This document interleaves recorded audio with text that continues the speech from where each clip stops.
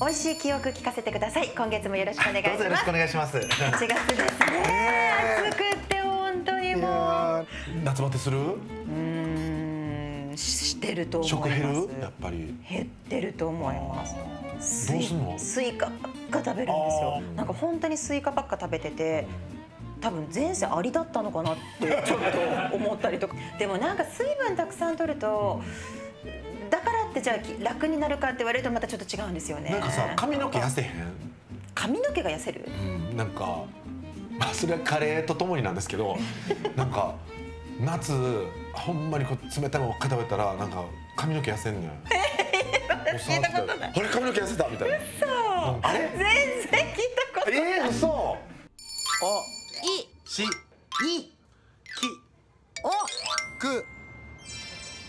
聞かせてくださいお風呂入ります。美味しい記憶。それは食にまつわる大切な思い出。人生こんなことがあるんですね。よかったですね。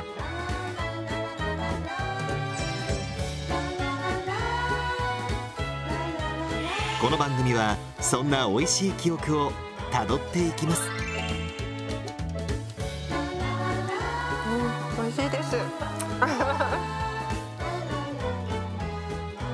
はキッコーマンの提供でお送りします。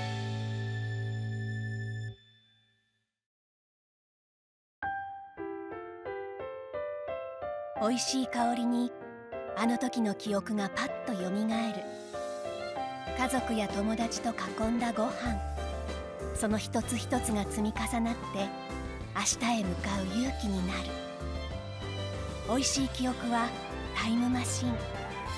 昨日から今日へ明日へ美味しい記憶を作りたいキッコーマン藤井さんご無沙汰してます。福田ですよ。福ちゃん。ご無沙汰しておりおます。願いします。早速美味しい記憶をご紹介。タイトルララランラーメン。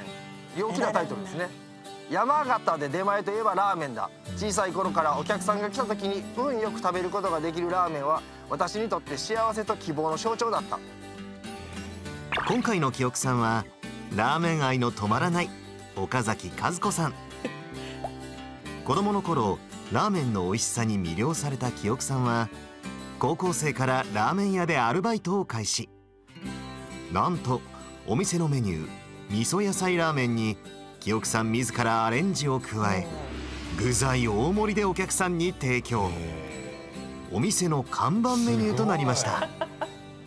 私は自分で作って食べるラーメンの美味しさに目覚めそれに酔いながら将来結婚する人はラーメン屋さんしかいないと心に決めた、愛する夫と2人で屋台で美味しいラーメンを作り続けていくという壮大な夢を持ったという。へえ素敵な夢じゃないですかもし実現してた場合はどうしたらいいんですか？よかったっすねって食べて帰るってそれでいいんですか？そういう番組じゃないと思いますよ。この番組。屋台でラーメンを出す夢は叶っているのか？まずは清木さんのもとへこんにちは。こんにちは。こんにちは。遠くかすいませんこんな遠くまで。いやいやこちらこそありがとうございます。お待ちしてました。清木さんそして夫のひろしさんがお出迎え。触ってもいいですか？あいや。わかりました。ここさ本物かどうか。わかります。あの匂いと手触り。あそうなんですか。独特の感覚を。すいませんご主人。ご主人はちゃんとされてそうですね。楽しいですね。私ロケって初めてで。いやまあ大概そうですよね。なかなか何回もロケ出てますっていう一般の方あんまりいないですからね。見る見る方専門なんじゃないですかね。基本的にはというわけで美味しい記憶調査スタート。記憶さんがバイト時代に作っていたラーメンはとにかく具材が大盛りだったようで。キャベツバーンみたいな。もやしガーンみたいな。麺が来ないのでなかな。か野菜が上す上すぎて。二郎系の走りじゃないですかもう完全に。確かにカカウンターに座った男の人だけはみんなね目がねハートでした。ああ。まあ今度来るのはどれぐらいいっぱい来るからみたいな。あはは大盛りを。で期待裏切っちゃまずいのであそうそうガンガン作りましたね。バッまた来てねみたいな。それがまた本当に美味しくて私世の中にこんな美味しいものがあるんだって。あそうなんですね、はい。でそこで、はい。ラーメン屋さんの結婚したいそうです。ね私のこう転職はラーメン屋さんだろうなって。それ夢は叶ったんですか？叶ったと思いますか？えちょっと待ってちょっと待ってください。あのそんな新しい大企業ご主人と今声を出すことを禁じられてんのかと思ってましたよ。ずっと。ご主人は知ってたんですか？奥さんの夢がラーメン屋さんやったっていうの。は。初めて知りました今回、えー嘘あれ見て本当に。屋台でラーメンを作るという50年来の夢をどうしても実現したいなるほど。記憶さんえー、やってそのラーメンを食べさせたい相手はもちろん。ご主人？旦那さんに旦作那さんに作りたくない私。だえ？なんでだ。って私作りたい人もうね一人絶対決めたの。嫌だって言っても絶対その人のために作り作りたい。旦那さんじゃないの？誰？誰？じゃん。え？どどじゃん。え？ディレクターさん？当たり前じゃないですか。私もうね小林さんとねこう前世からなんか縁があるんじゃないかな何でそんな絵を感じました？小林ディレクター。今回、はい。電話いただいたじゃないですか、はい。私の何十年来の思いを僕に叶えさせてくださいほうほうほうほう。もう一発ですよねガラみたいなやりますかみたいな乗っかろうとしちゃったんですねあ今仕事ですからね。えちょっと待ってそういうコメントいりませんいりませんねそのコメントはいりませんプライベートでやってるわけじゃないです。ただの仕事なんですよいやいやい。やあれはね小林ディレクターはもう違いますあれはね心の底からの叫びでしたディレクターにラーメン作るの俺はずっと見せられんの。なんなんこのロケ。旦那さんに作るんやったらもう頑張れとか応援する気分になるけどさ。もう見られないですもん恥ずかしくてあ確かにこっちばっかり見てますね。確かにそうですね。こっちばっかり見てるし、もう旦那さんの方全く見ないですもんね。和子さん、ご主人もニコニコしてるからいいですけど。そのまあじゃあラーメン作りたい。で屋台も？もちろんそういうあたりがいいんじゃないですかイメージできてるんですか？当たり前ですよもう50年間温めたイメージが思い描き続けてきた屋台がこちら花やツタなどの自然を感じさせる装飾。そして屋台に住む仲間たち。ゆめちゃんゆうひちゃん猫？風の音を聞きながら鳥の声を聞きながらはい。外で食べるラーメン。今回作るのはバイト時代の思い出。味噌野菜ラーメンだそうですが。味噌ラーメンの辛騒ぎっていうネーミングにしましたなんでなんですか？えだって私たち辛騒ぎ以外の何か考えられます？え我々も巻き込まれてるんですよ。唐騒ぎメンバーなんですか。そうなんです書いてるんだというわけで 今回は古民家をお借りして味噌ラーメンの辛騒ぎを作っていきますまあご主人も手伝ってもらうということなんですが、なぜディレクターが演者側に来たかっていうことなんです。でも和子さんが希望してるんですからもう仕方がないですね。家族さんのために頑張ります。まあ普通ディレクターは VTR を作るのが仕事なんですけども、だから旦那さんと憧れの人が横に並んでるはい状態で。そうですね真ん中に入りたいですけどいやいやいやいや、そういうロケじゃないんで。はいわかりましたまずはスープ作りから鶏ガラ豚ロースに加え玉ねぎじゃがいもなどの野菜で出汁を取ります。この入れ方で大体わかりますよ。入れ方豚肉さんお風呂入ります。ボチョはい。豚肉さんお風呂入ります。いい加減でいいいい感じで温まってね。素晴らしい。このアドリブできるめちゃ人はねくちゃ恥ずかしい。めちゃくちゃ恥ずかしい。続いてディレクターも玉ねぎ入れまはーい。す。はい、いきまはーす。はい。ーい。つまんないえちょっとなんかね普通に入れただけでしたね。おかしいよね。もう一回。もといあもといちょっと待って。ちょっとワンチャンワンチャン。もうワンチャン。旦那が奥さんの憧れの人にチャンスあげてるから。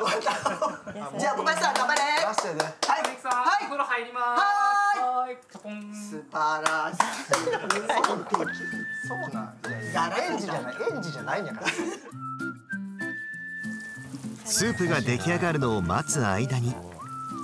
わわあでも出汁美味しそうなのが取れてるじゃないですか。一行は庭へと移動。笑えるほどすごいじゃないですか。これを組み立てていくってわけですよね。作るんだ。みんなで力を合わせて屋台作り。組み立て終わったところで。このデザインデザインにするようにはい。装飾していきましょうか。はい、はい。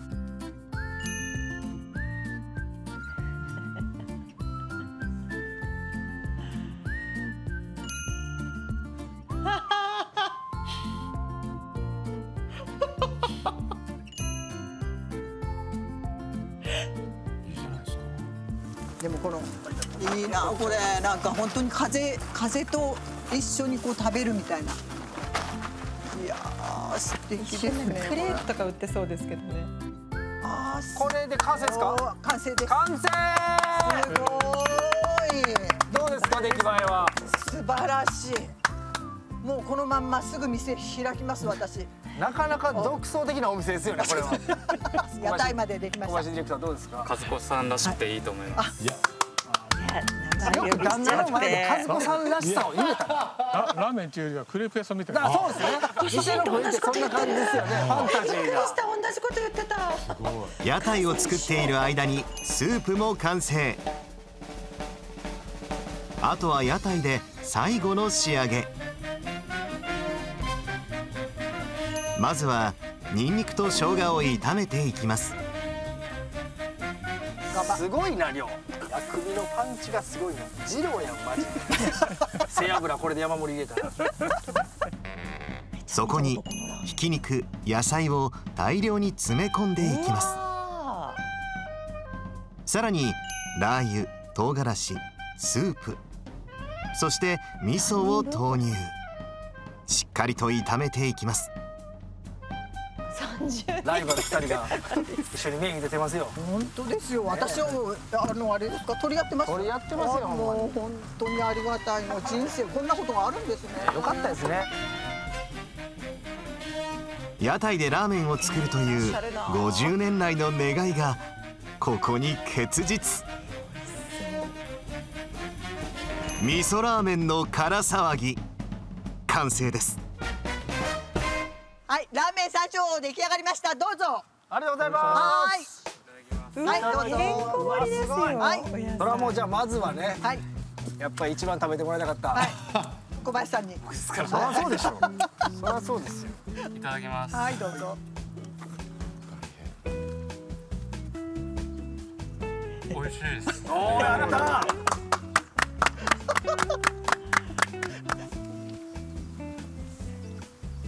まいですねこのスープ。おおやった。やった。ででもあれですね。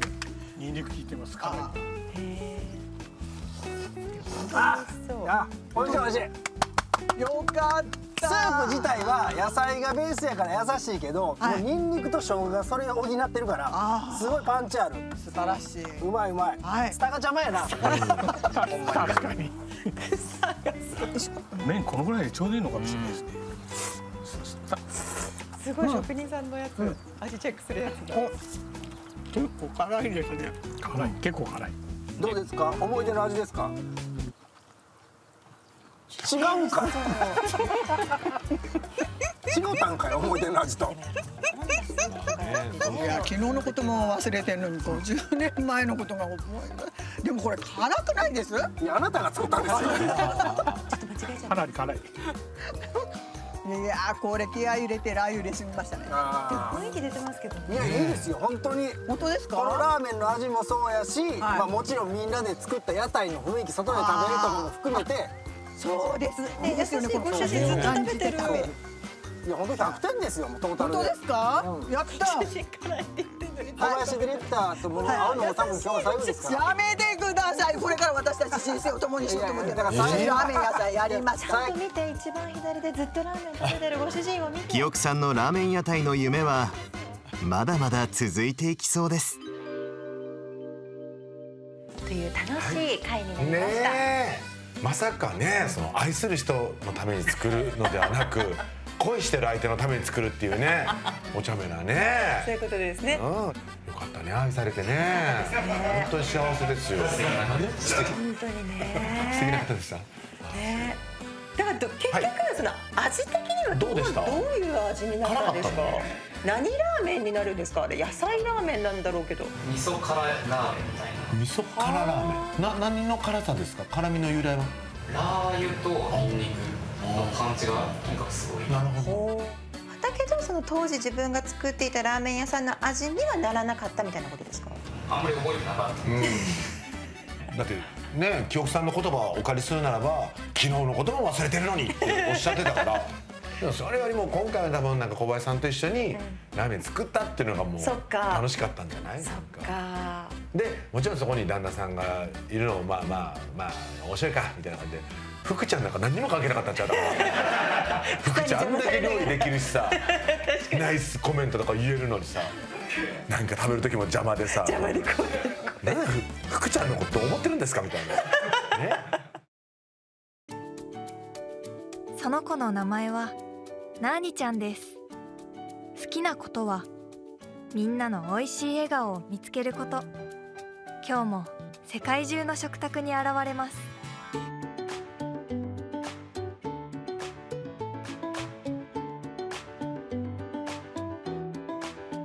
ちゃんの周りには会話が生まれ楽しい物語が回り始めます。今日もなーにちゃんを探してみてください。醤油の香る食卓で一緒に笑ったり泣いたり夢を語り合ったり。その子はずっと忘れることのない美味しいの隣にいます。美味しい記憶を作りたい。キッコーマン。美味しい記憶ご紹介いたします、はい。えー北海道にお住まいの60代の女性の美味しい記憶です、えー父は普段全く料理をしない人でした。そんな父が砥石を出して包丁を研ぎ始める。するとその日は夕食作りから解放された母がニコニコして言う。今日の晩ご飯は軟膏だよ？ん？父が作る軟膏はご飯が何杯でも進んでしまう料理。家族で軟膏を味わった幸せな記憶は遠い昔となってしまった。わかんない分かんない。軟膏砥石あの包丁こうやって研ぐってことでしょ？なん砥石で研がないと切れないような硬い何かを使った料理ってことです。え何？え軟膏軟膏を求めスタッフが向かったのは北海道江別市。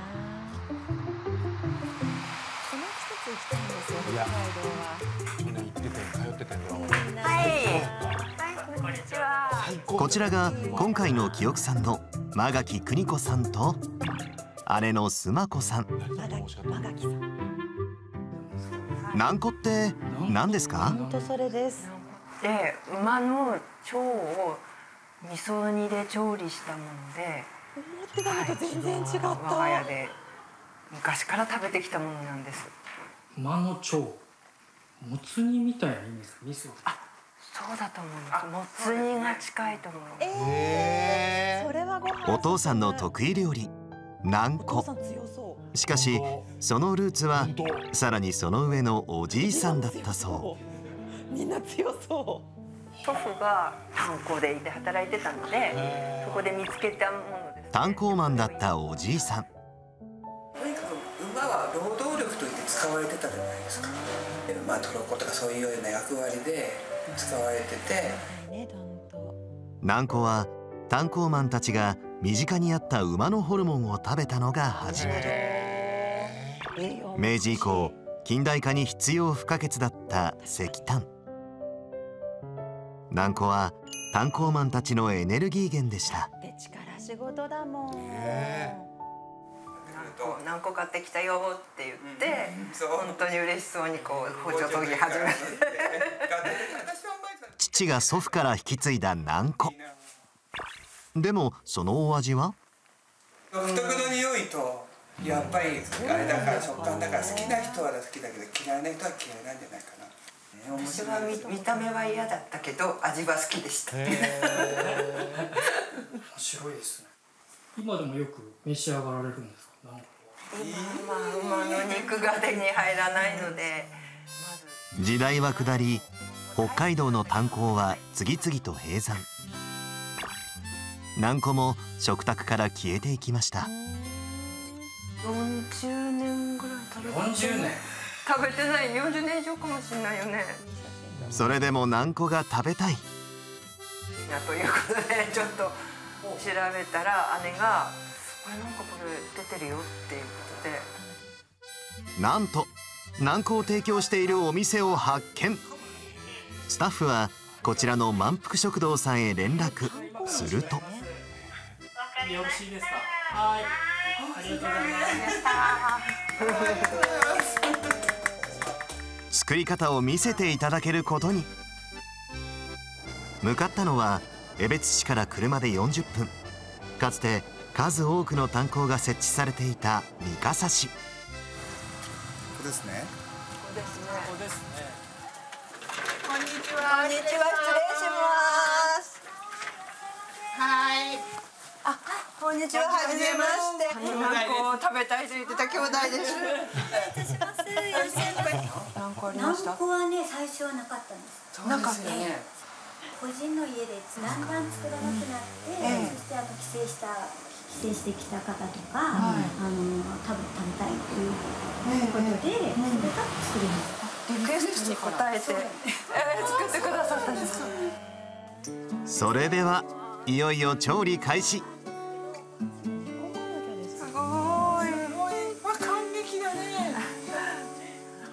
これが南湖の正体。馬の腸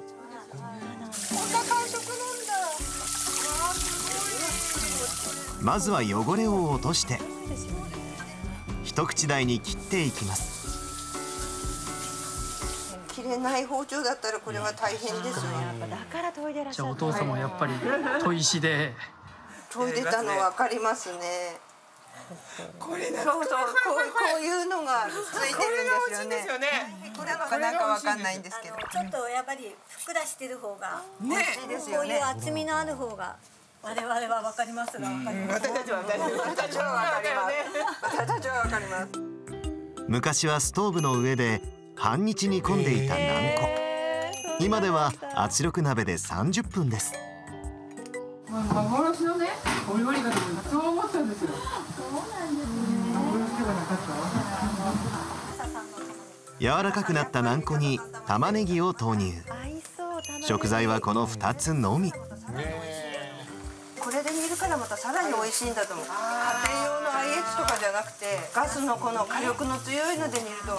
お醤油入らないんだ最後に味の要。味噌を豪快に加えます。電話番号控えてはいそうです。これじゃないですか。だから。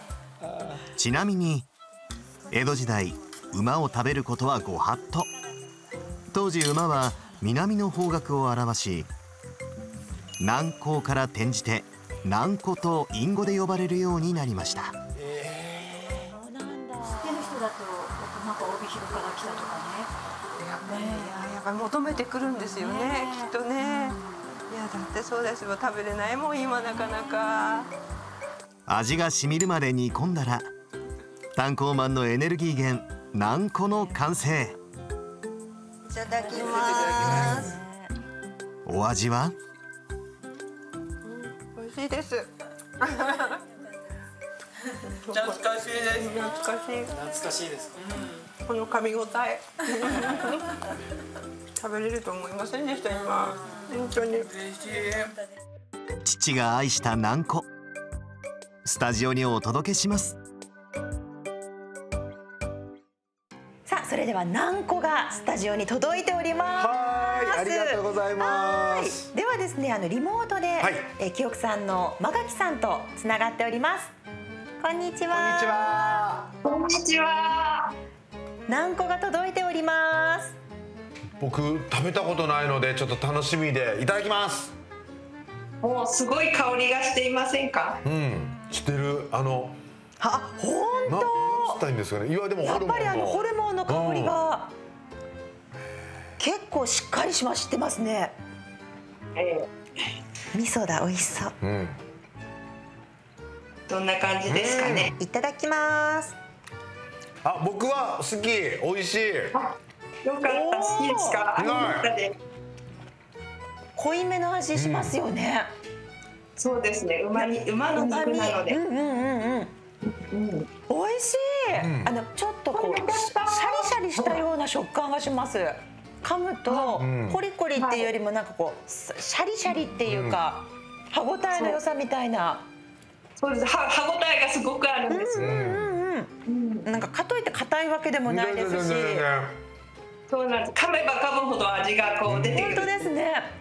あのビール進みそう、いやなかなか貴重なね食べられないものをいただいて。そもそも北海道の中でも今幻なのにうん。その幻の何個が今ここに来てるっていうのが不思議な感じ貴重な食べ物でした。ありがとうございます。ありがとうございます。ありがとうございました。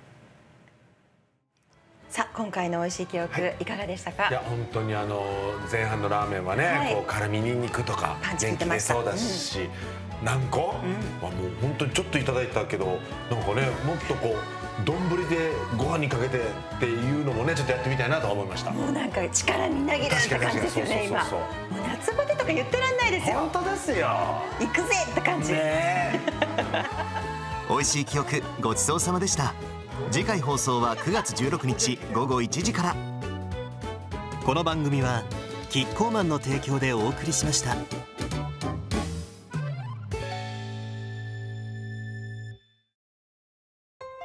もしもこの国に醤油がなかったら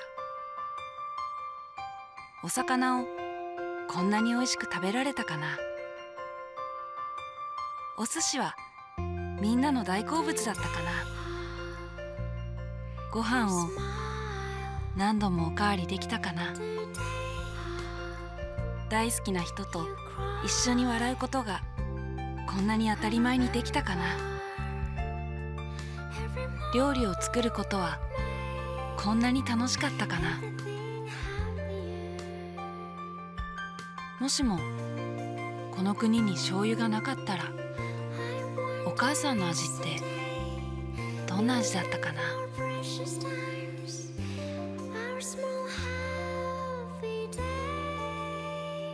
この国にはキッコーマンがあります